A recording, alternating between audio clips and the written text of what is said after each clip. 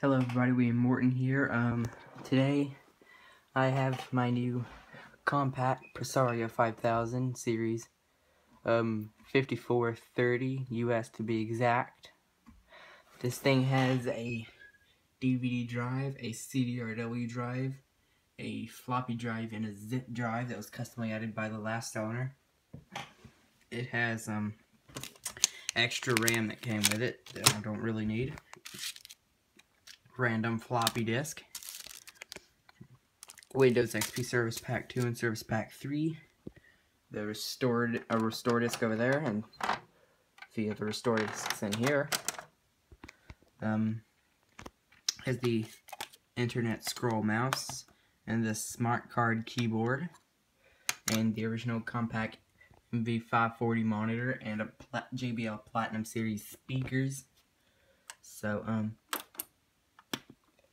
so I'm going to turn the speakers on, turn the monitor on, and then I'll turn the system on. Which, um, Windows 7 doesn't work exactly properly on this thing, so I might put Windows XP back on it. So, yeah, Windows 7, the sound driver isn't good, because I don't get any sound out of the speakers.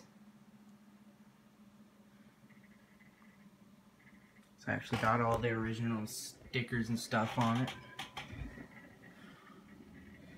Over here, the specs, specification sticker.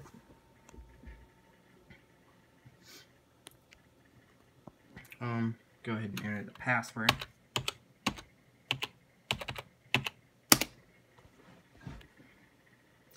Um, the CRT monitor does good. Let me goss it real quick so it looks better. That's better. Okay. Go to control panel. See if I can find the system settings like computer status.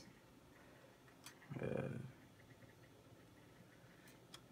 I can't find anything, but um, it has an 80 gigabyte hard drive 1.8 gigahertz Intel Pentium 4 processor, 512 megabytes of RAM, I think. Let me look. Yep.